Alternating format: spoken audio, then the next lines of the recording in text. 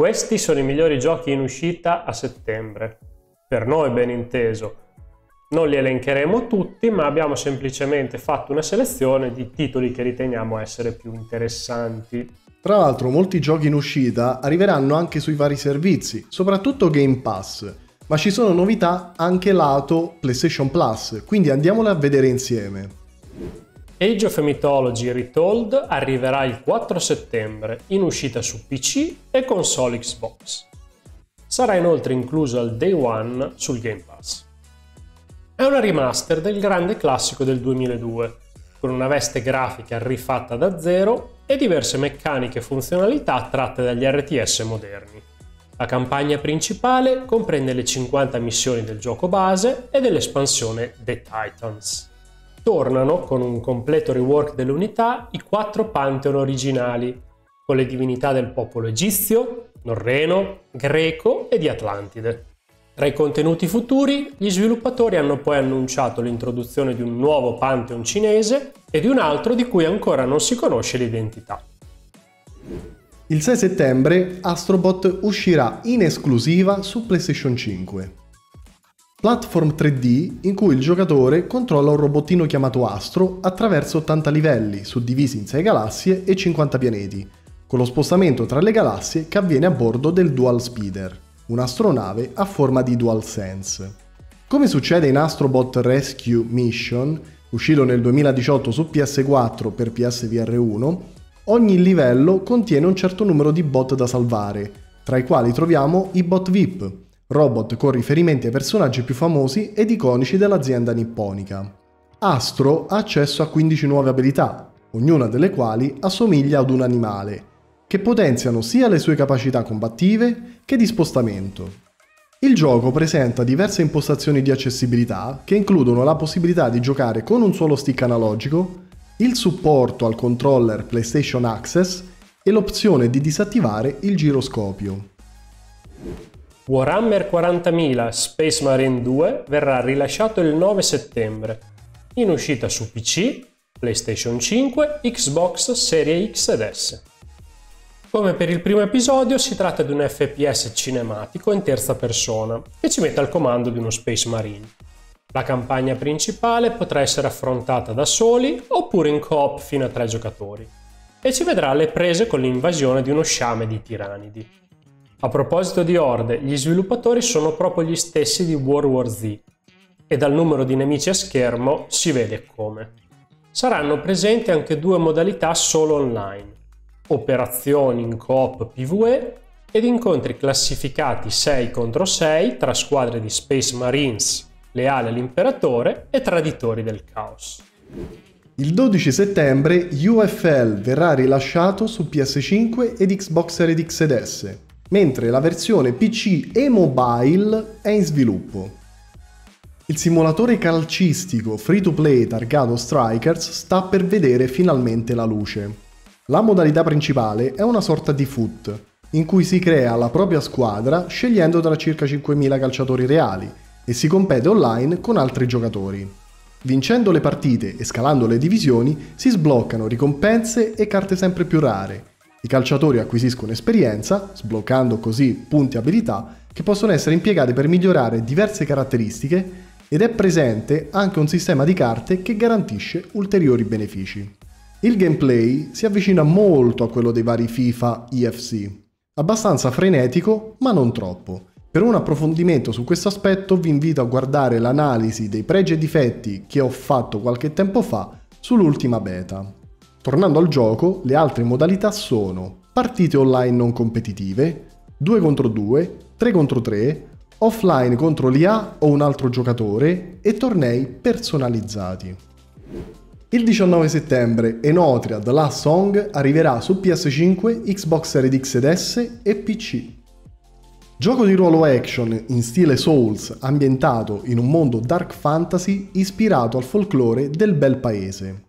Il mondo è attanagliato dal canovaccio, una rappresentazione distorta e costante che mantiene il mondo in una stasi naturale. Il protagonista è il senza maschera, l'unico in questo mondo a poter decidere del proprio destino e sarà colui che lo libererà dalla stagnazione, sconfiggendo gli autori con il potere dell'ardore.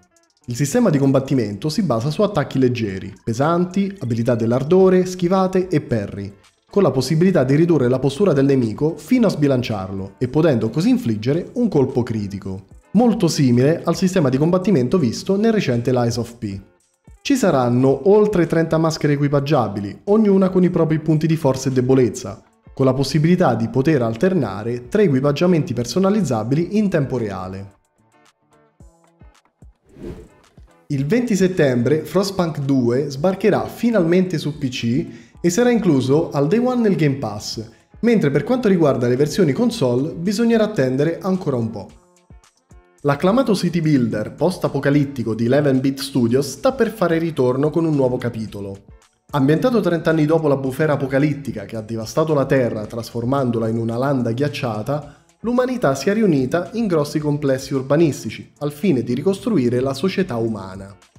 Rispetto al primo capitolo, dove gli edifici venivano costruiti singolarmente e per un numero di persone piuttosto limitato, lo sviluppo della città viene affidato alla creazione di distretti specializzati, che aumentano drasticamente il numero di cittadini da gestire.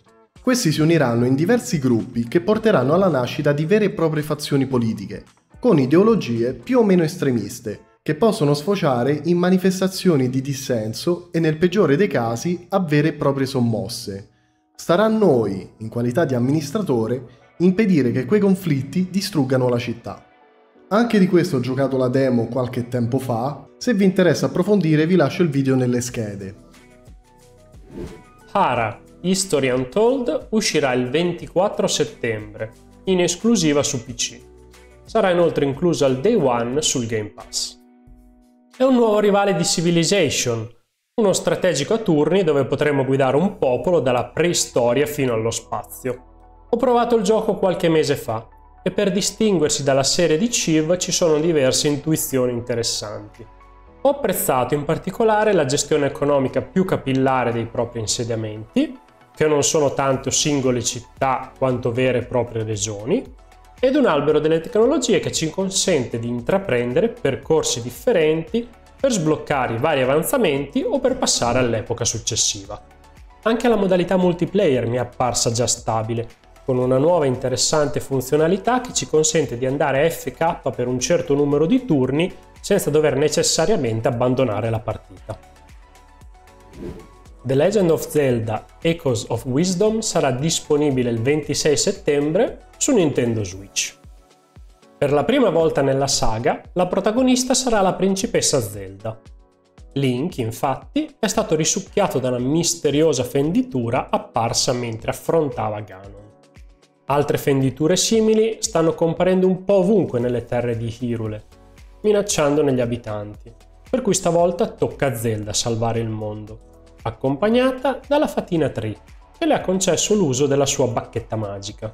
Con quest'ultima Zelda può creare degli echi, riproduzioni sia di oggetti inanimati sia di animali e creature.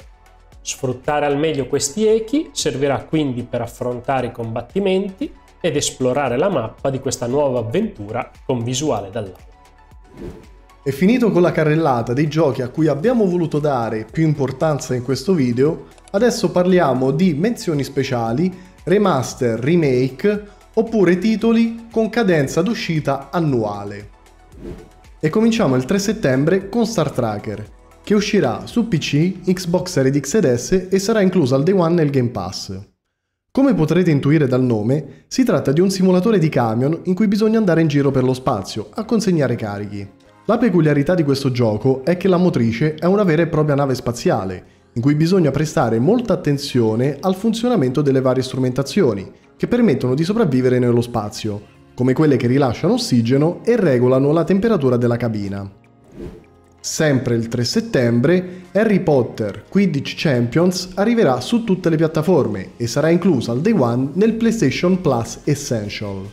Gioco basato sul famoso sport diffuso nel mondo magico di Harry Potter, presenta una modalità carriera giocabile sia in solitaria che in coppa online con tre amici e una modalità PvP online.